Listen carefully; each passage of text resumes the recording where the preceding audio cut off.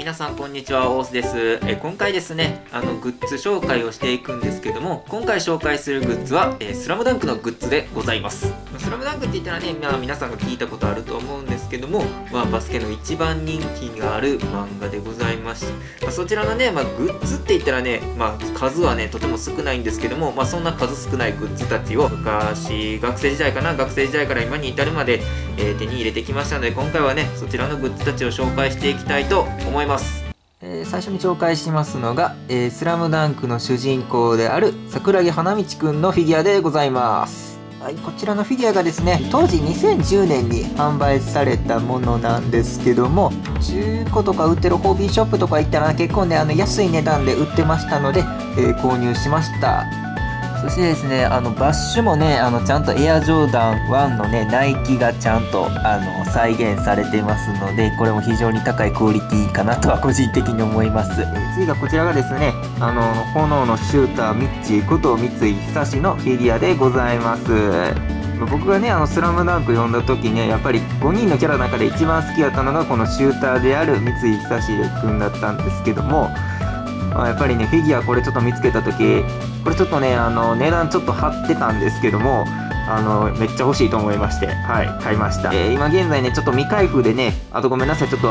えー、影にちょっとカメラと僕の姿映っちゃってるんですけども、ちょっと一回あの、これ姿出してみたいと思います。はい、こちらがちょっと箱から出してみた、えー、三井久しぶりのフィギュアでございます。いやちょっとね、あの袋から出す勇気がごめんなさい。今現状なくてこの姿でままお送りしたいと思います。すみません。こちらの商品はねまだ新品でまあ袋にも入ってるように1回も開けてないのでとても綺麗です。まあ、スラムダンクの漫画ででしたらね、あの、この1位は、あの、物語のね、まあ、えー、関数で言ったら、えっと、9巻から本格的にあの、試合を始めるんですけども、やはりあの、シューターって言ったら僕はもう、真っ先に思いつくのが、この、でことを三井久志かなとは思います。僕もね学生時代バスケしてたんですけどもやっぱりシュートとかはあのめちゃくちゃミッチーに憧れて練習してたんですけどまああの才能はあの波だったんで そこはまあうまいこといきませんけどもそれでもやっぱり影響を受けた大きな要因かなとは思います。次にですねあの紹介するのが「えーと、スラムダンクの、えー、湘北高校がね着ているユニフォームのね紹介なんですけどもえー、先に言っておきますと正規品ではなくてあのアミューズメントとかで取れるものだったんですけどもまあツッコミどころが多いです。それではねあの早速紹介していきたいと思います。はいこちらがあの小高校のユニフォームになります、えー、番号は11番ルカワ楓の番号なんですけどもえっ、ー、とね湘北っていう文字がちょっと小さい。あと番号もはい小さいです。えー、これ最初ね撮った時はすごい喜んだんですけども後々ねあの大人になって冷静に見たらすごいあの海外で作られた感があるなって思っちゃいますね。背番号こんな感じなんですけども背番号もちょっとなんか位置もうちょっと上で良くない説を思っちゃうんですよね。はいこちらがゴリゴと赤木武則の、えー、ユニフォームになります、まあ、こちらもねちっちゃい。番号と湘北の文字ちっちゃ。はい後ろも番号ちょっと下すぎん？って思います。はい、こちらが、えー、ミッチーこと三井久志のユニフォームです。うんこれもちっちゃい番号が。そして背番号もちょっと下。はい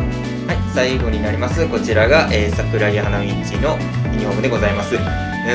こっちも文字がちっちゃくて番号もちっちゃいね。極めつけなんですけどもこちら。はい。番号どんだけ下やねんって思いますね。一応こっちのね、あのー、フィギュアとちょっと比べてみたいと思います。こちらのフィギュアがですね、まあ、こっちがあのちゃんと正規の番号の位置なんですけどまあ当然この腕と肩の間に銃が入るんですけどもこっち。いや完全に腕の下やないかい。もうちょい上に作ってもええんちゃうんと思いますね。それでもねあの僕これ撮ったんが中学生の頃なんですけども当時撮った時すごいテンション上がってて今となってはちょっと笑えるいい思い出になっています。以上がねあの今回「スラムダンクの、えー、グッズの紹介になります「まスラムダンクっていうのがねやっぱりあの小中学生が今読んでも面白いと思える作品でしてやっぱり主人公なのにそのチームメイトたちが一人一人がとても魅力あるキャラでやっぱりそれ目指して憧れてまあ、バスケし始めるっていうきっかけを作ってくれるいい漫画だと思いますので、まあ、もしねその「スラムダンク興味ございましたら誰でも持ってるって。ぜひ読んでいただきたいなと思います。もしよろしければあのチャンネル登録と高評価いただけたらとても嬉しいです。本日もご視聴ありがとうございます。以上です